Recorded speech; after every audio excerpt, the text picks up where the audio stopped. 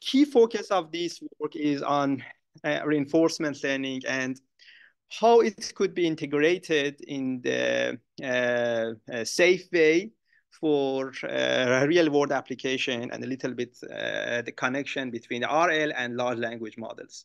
So reinforcement learning is a paradigm of uh, decision making when an agent interact with the world, get feedback from the world, and take an action. So uh, uh that's one uh, paradigm of the machine learning. So if you have supervised, unsupervised, RL is uh, one of the big key uh, paradigm of the R, of the machine learning that help us to make a, a decision, a paradigm of the decision. And uh, uh, in terms of a little bit uh, taxonomy of the RL, so we have some action, states, and uh, reward. So agent interacts with the environment, interacts with uh, some world, and uh, world uh, guide, and uh, we take some action in order to accomplish some task or maximize some notion of the reward function. That's the whole idea of the reinforcement learning. learning by trial and error is the key scope of the reinforcement learning. But when we think about the reinforcement learning, so far, there are a lot of uh, research uh, in RL community, but uh, the main scope of those works on, are in a simulated environment. So RL has shown a lot of success in simulated environment. For example, in solving some challenging games. For example, chess, AlphaGo, uh, so many things that uh, can be solved uh, by using the RL. So also, uh, there are a lot of work in the area of the healthcare for the RL, uh, such as the protein folding. So we can uh, discover new drug, new formulation for the drug and uh, those kind of things uh, uh, using the reinforcement learning. So protein folding of the DeepMind is one of the main breakthrough to use RL to find the drag structure. And also a lot of work in a simulated environment for the robotics have been used for the RL in a simulated environment. But when we think about the reinforcement learning, can we use reinforcement learning in physical worlds? Or can we get a benefit from RL to solve a real world application problem? Uh, and uh, in that line, uh, there are a lot of work. So, uh, uh, for example, we have a lot of work on autonomous driving, still in simulated environment, but uh, we don't have a lot of work that apply reinforcement learning in the physical setup. And also we can think about chat bots. So uh, we are in the foundation model era. So I will a little bit uh, talk about that. And also, can we imagine that RL can solve an actual uh, robotic problem in a physical setup in real world? But what is the key issue that we uh, think for RL in a physical world. Let's a little bit uh, review on the challenges of if you wanted to apply RL in physical world, what are the uh, key challenges? So, and uh, that key challenge is safety constraints. So safety constraints are uh, the limitation from the environment. So when you wanted, for example, use RL for autonomous driving, there are a lot of uh, limitations especially for robotics application, self-driving car, and healthcare application. So in general, when we talk about the safety constraint, our goal is to maximize some expected return, but subject to some constraint that comes from the environment, which is the uh, safety constraint. So one of the things that hinders us use RL in a real world setup is the safety constraint, safety issue, and we call those safety critical situations. And I wanted to uh, produce some, I wanted to introduce some examples of safety constraint. For example, autonomous driving, an autonomous car wanted to maximize some notion of the reward function, uh, but subject to some safety constraint. And those safety constraint is uh, traffic rules, speed limits, uh, safe uh, following distance uh, between uh, ego car and other vehicles. So those are some safety constraints that we can imagine uh, for the autonomous driving application. And also similarly uh, for the robotics, we are interested, for example, to accomplish some task, some robotic task, uh, and also maximize some expected return. But again, we have some uh, safety constraints. So for example, maintain a safety stance from humans and uh, some safety constraints in real world uh, are uh, things that we need to consider. And we are in a, foundation model era. So when we talk about the safety constraint in chatbot, uh, we are again interested to uh, generate responses to user prompts. So we are interested to accomplish some good uh, things for us, some maximization of some uh, reward, but there are some safety constraints and some, and uh, those safety constraint is we need to avoid the biased response or filter not good text and those kind of the things are safety constraint in the chatbot. And under the hood of large language models, there exists reinforcement learning uh, layer. And also we have a paradigm of the reinforcement learning from uh, feedback. So when chatbot uh, provides you some answer, you, for example, uh, thumbs on, that gives the feedback. And uh, those are some constraints or feedback from human. But when we think about the safety constraints, uh, these safety constraints are kind of known. I mean, uh, we know uh, that what are those safety constraints? We assume that there exists some expert knowledge that can identify for us those safety constraints. So these are uh, uh the issue of the safety constraint. And in the rest of this talk, I wanted to say that all of those constraints that dictated by a human is not good or cannot help us to apply reinforcement learning in a real world setup. So predefined safety constraints may not be always sufficient in a dynamic environment or safety constraints are kind of subjective.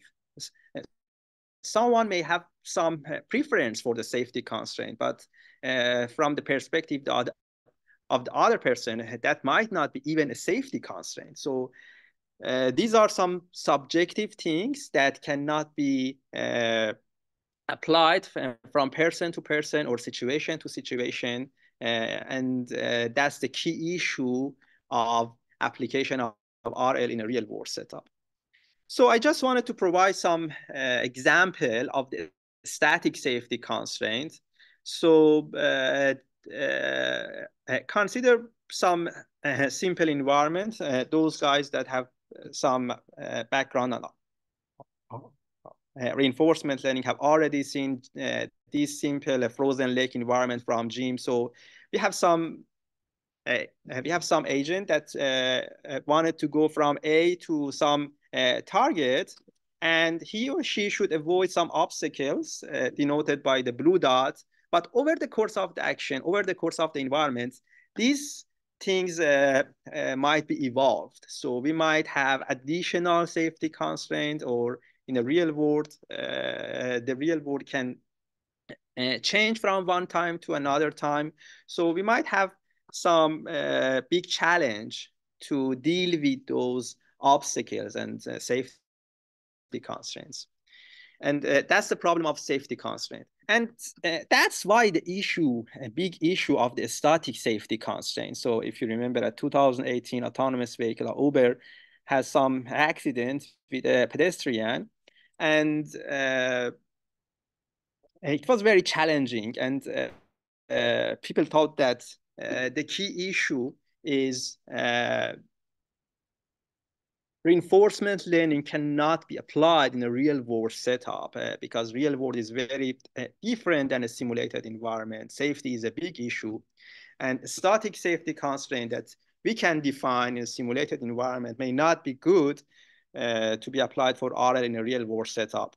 And actually I was a postdoc at 2019 and at that time at Ford uh, and I remember Elon Musk told that at 2020 we have a lot of autonomous driving in a road, but it was not happen. So we don't have so much autonomous uh, cars in the world, and one of the reason is heavy tail uh, of the rare events. So the key issue that we still do has uh, do not have uh, those autonomous car in a vehicle is uh, uh, there are a lot of rare events that hinder us to use uh, such a technology. And that's the problem of unknown, unknown uncertainty. So unknown, unknown uncertainty are something that's called the surprise. Uh, mathematically defining the surprise is very challenging for the whole machine learning community. And actually, we don't claim in this talk that we wanted to address that. It's, uh, actually the effort of the whole community to address that. But uh, the whole scope of this talk is to provide some understanding or some simple solution that if we can address that problem in reinforcement learning setup. So uh, the key theme of my uh, talk for uh, today is how we can deal with the problem of unknown, unknown uncertainty. When we have reinforcement learning, how we can deal with the surprise uh, in the context of the safety critical system. So again, uh, we have a lack of a predefined safety constraint. So in some instances, I just wanted to review what we told so far. In some instances, predefined safety constraint may not be available and impossible to acquire even. So if you have some surprise, how we can uh, tell reinforcement learning agent to deal with those uh, constraints. And in some environments that are unexplored, uh, uh, uh, we have the same issue. So uh, something might happen uh, when you drive and an, an animal comes up and how you how the autonomous agent, how AI wanted to handle those, those situations. Very challenging problem. Environment that are too dangerous to explore. So how we can uh, deal with those constraints. So uh, problem statements, what problem that we are interested to solve or how we can uh, deal with this uh, problem. So uh, we consider the problem of safe reinforcement learning uh, policy synthesis in an environment where safety constraints are not uh, known a priori. So we don't have information about the safety constraints. But we are trying to formulate this problem in a concurrent learning of the policy and constraints. So we don't know the constraints, we are trying to come up with a policy. So we are trying to jointly optimize the policy and also find the safety constraints. So uh, we are trying to optimize the parameter of the safety specification. So we assume, so we have some assumption to make progress to problem of unknown, unknown uncertainty. We assume that we have some sense about the uh, safety constraint.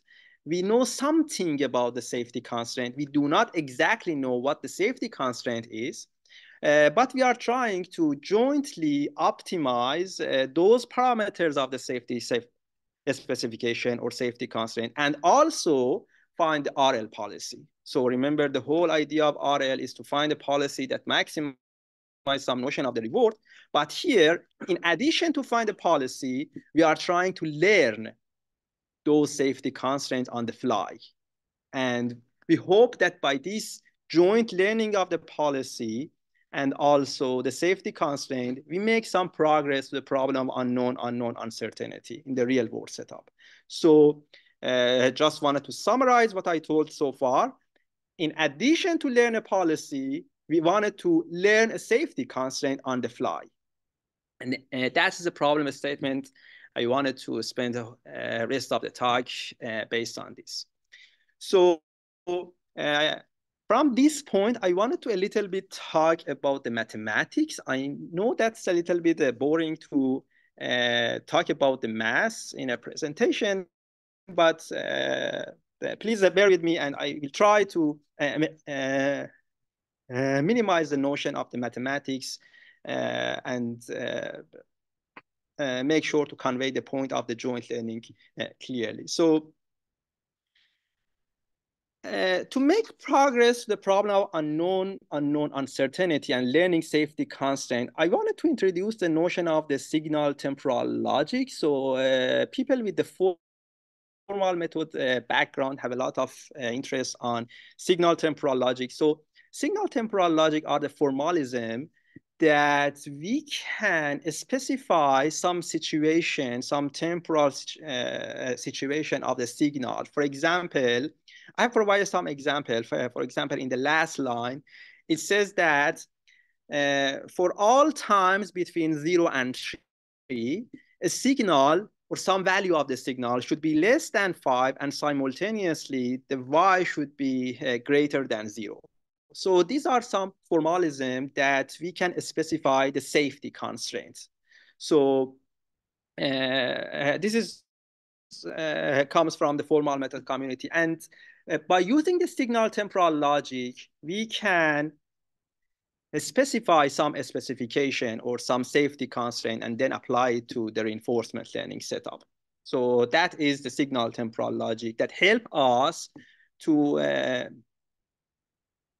mathematically uh, formalize the notion of the constraints. And uh, for the signal temporal logic, we have some uh, grammar and some quantitative semantic that shows how well a signal satisfy a safety constraint. So for example, we have two signal, one signal uh, satisfy some safety constraints uh, better than the other one. So it's actually help us to uh, shows to what extent, to what degree uh, a signal satisfies a safety constraint. It's good that uh, uh, it, it, shows us how well a signal uh, meet the specifications. So we use the parametric signal temporal logic. So the idea of the parametric signal temporal logic is uh, PSTL is the extension of the signal temporal logic where we only have some structure or template of the signal temporal logic. And we choose this one uh, because it gives some sense about what the safety specification is. So we know what the template is, and we are trying to learn the parameters uh, of the signal temporal logic in order to satisfy safety constraints. So the only assumption that we have, of course, this is uh, kind of big assumptions, but uh, to us, it's actually a way to make uh, progress toward the problem of unknown, unknown uncertainty. So we assume that we have some sense about the safety constraint. We do not exactly know what the safety is, but we have something, uh, we know something about the safety. And uh, that's why we use the parametric STL. And our goal is to find those uh, parameters as RL interacts with the environment.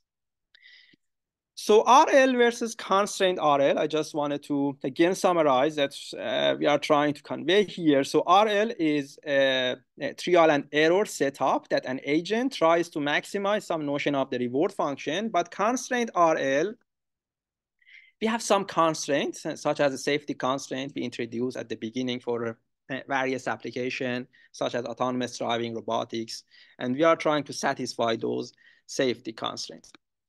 So I need a little bit piece of uh, math again. So in order to uh, quickly find the safety parameters of safety constraint, we need some uh, paradigm for the optimization that works in the real world very quickly. So because we are trying to work uh, in a real world environment in a real time, we need to uh, very quickly find the parameters of the safety constraint.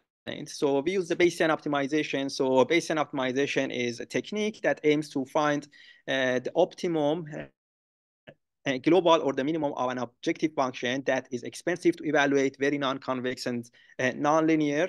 Uh, and we use the idea of the Bayesian optimization to find those parameters of the safety constraint that I have already talked about. So what is the approach to solve this kind of problem? So uh, when we talk the machine learning, AI, RL, so uh, uh, those are uh, paradigms are nothing than the optimization problem. So all, all the techniques that uh, people talk about has some optimization. And uh, we are trying to solve this problem, joint learning problem, using a technique that is called the bi-level optimization. I will introduce it in a, a next slide. But uh, we uh, mathematically uh, formalize this problem as a bi-level optimization. So the bi-level optimization is one optimization is uh, nested into another optimization loop. So for example, if we have just uh, finding the RL setup, we just have one uh, uh, set optimization problem and our goal is to find the policy. Here we are aiming to jointly learn the policy and also safety constraint as well. So we argue here that safe policy depends on the constraint and also constraint uh, depends on the policy as well. Uh, therefore, we use the bi-level optimization that aims to jointly learn uh, not only the policy, uh, but also the safety specification as well. And the only assumption here is, the only assumption is we have only some sense about the safety. We don't exactly what the safety is, uh, but we have some sense about the safety. We know the template of the safety, but we don't exactly know what the safety constraint is. And I skip from the formulation, but uh, uh, this is the idea of the bi-level optimization. So in general, when we wanted to solve some uh, problem that uh, depend to each other, we use bi-level optimization. So uh, let's start with uh, learning the parameters of the safety constraint. So uh, we use Bayesian optimization in the upper level optimization. So by the way, so bi-level optimization has two level, upper level and also the lower level. For some reason, for the upper level, we solve the safety constraint learning or the parameter of the safety constraint uh, in the upper level optimization of the bi-level optimization.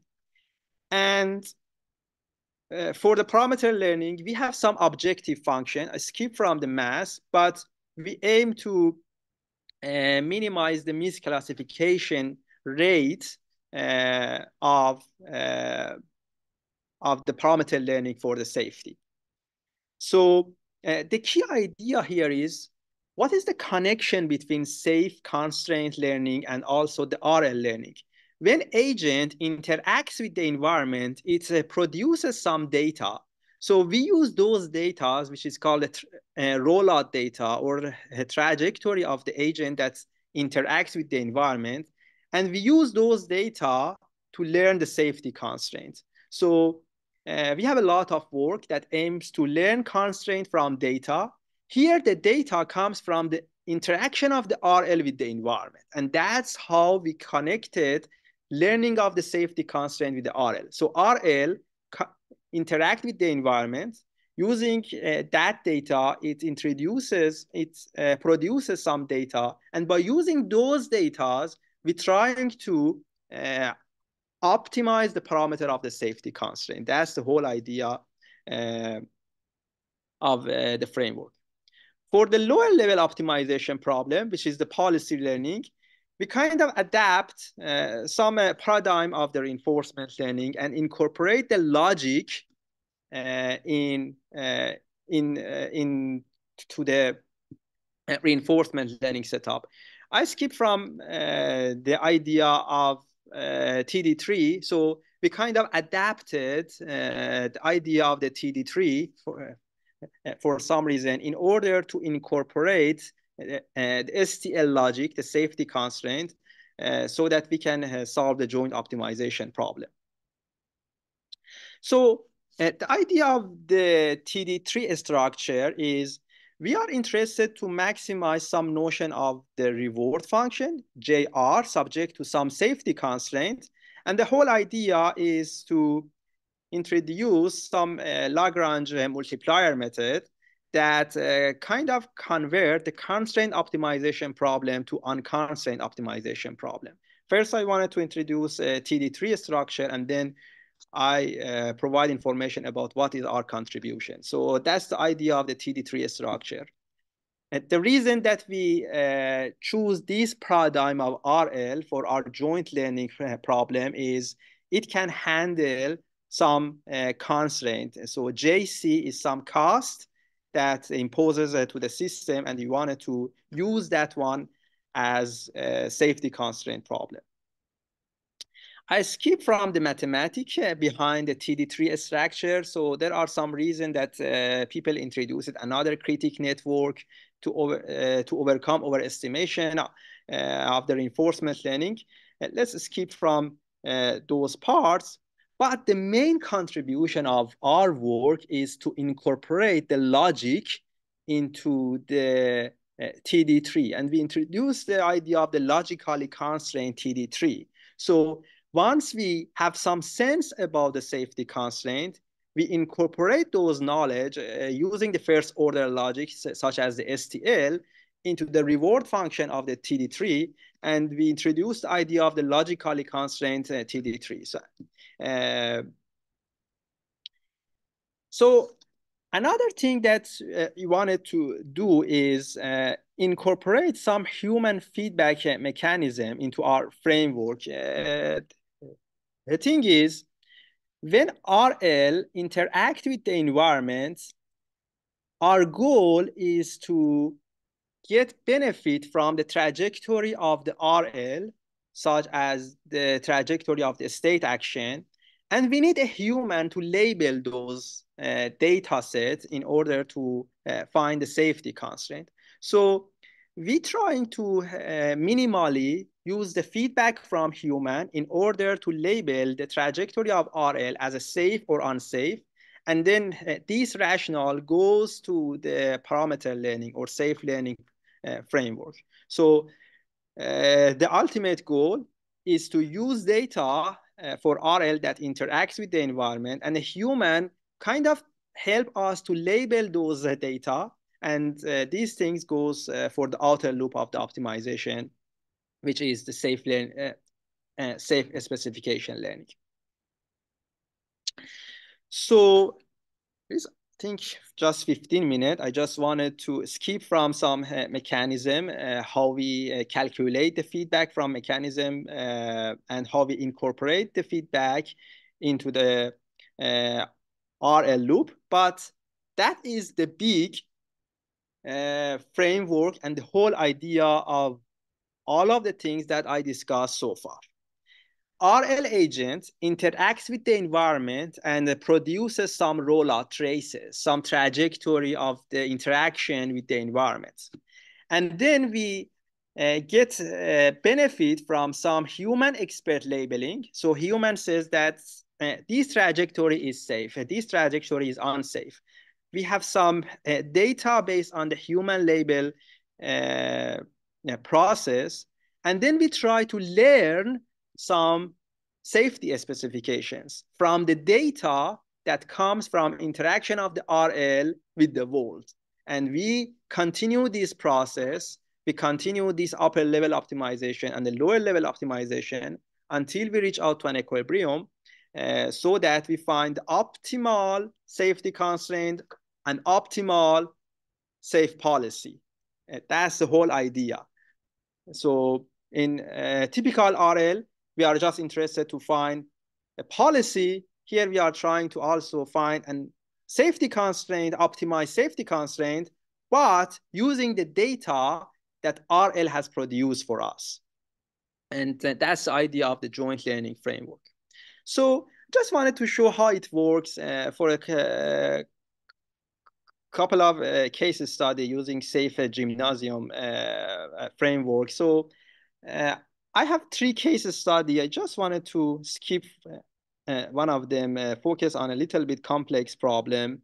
so for example, here our goal is to navigate uh, the red agent toward a goal, which is the green one. And starting from initial random set, so the goal is uh, to avoid uh, colliding with the blue dots.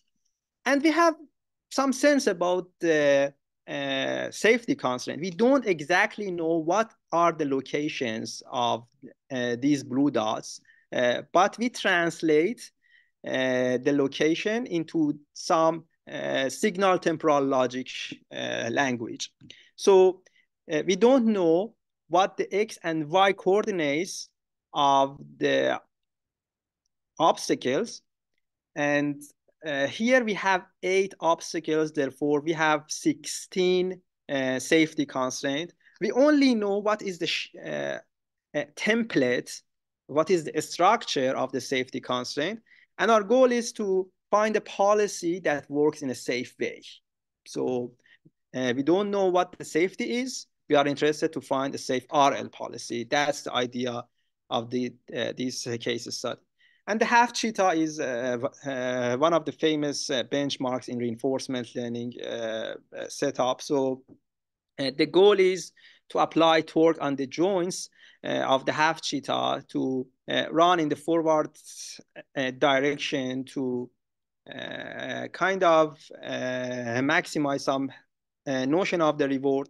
So again, we know some template of the safety constraint. We do not exactly know uh, uh, what are the parameters of the safety constraint. So that's the problem uh, setup.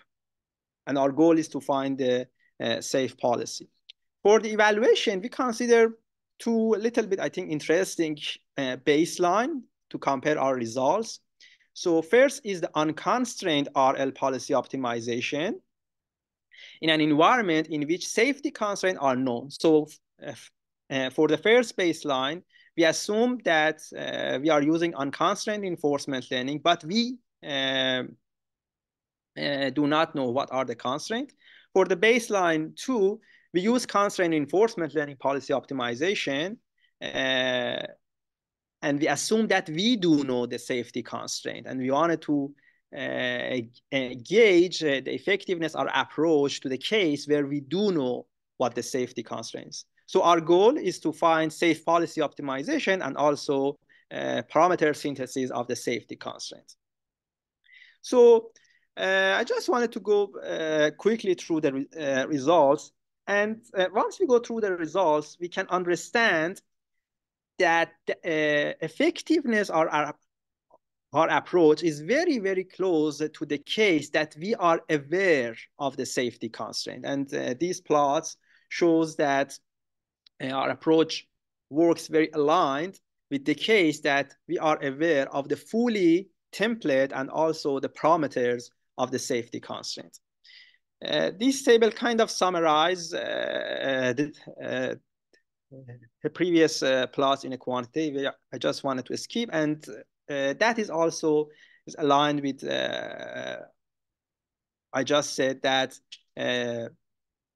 our approach is kind of work very, very close uh, to the situation that we are aware of the fully parameters of the safety constraints. So in terms of the result, we can uh, kind of conclude that joint learning of the policy with uh, safety constraints uh, works well and uh, kind of the results are uh, similar to the situation of we know the safety constraint. So there are some uh, limitation to solve the, the problem of unknown unknown uncertainty and you know uh, safe learning uh, constraint when we don't uh, know the safe constraint. So we are a little bit uh, relying on the human feedback in order to provide the ground truths of the uh, agent interaction with the environment. Also, we assume that we have some template of the safety constraints, um, uh, but there is no guarantee of the safe policy, unfortunately, uh, which is some of the limitation of this one. Just in two minutes, I wanted to highlight the works that we recently you know, uh, uh, presented at uh, NeurIPS uh, last year. So uh, there are a lot of works that aims to kind of combine the idea from the foundation models and reinforcement learning. So all of us are familiar with how it works, uh, what the foundation model is, but there are a lot of opportunities to find a synergy between decision making under uncertainty and large language model. I just wanted to highlight uh, our work, which was the idea of the LLM's augmented contextual bandit. So uh, uh, in this work, we have tried to provide the uh, context in the contextual bandit for those who are uh, familiar with the idea of the contextual bandit. And we just uh, provided the context in the contextual bandit into the large language model version uh, 4. And we try to have a richer representation of the context using a large language model. And compared to other results, we find that it's it, it leads to a more uh, better uh, informed uh, decision if we reach uh, if we have a richer representation of the context uh, using the large language model. So we have the chance uh, presented this one as in the workshop Uh, last year at uh, New Orleans. So with this, I wanted to wrap up the presentation uh, a little bit, I think 40 minutes, which is good, and open the floor for the questions. Thank you so much.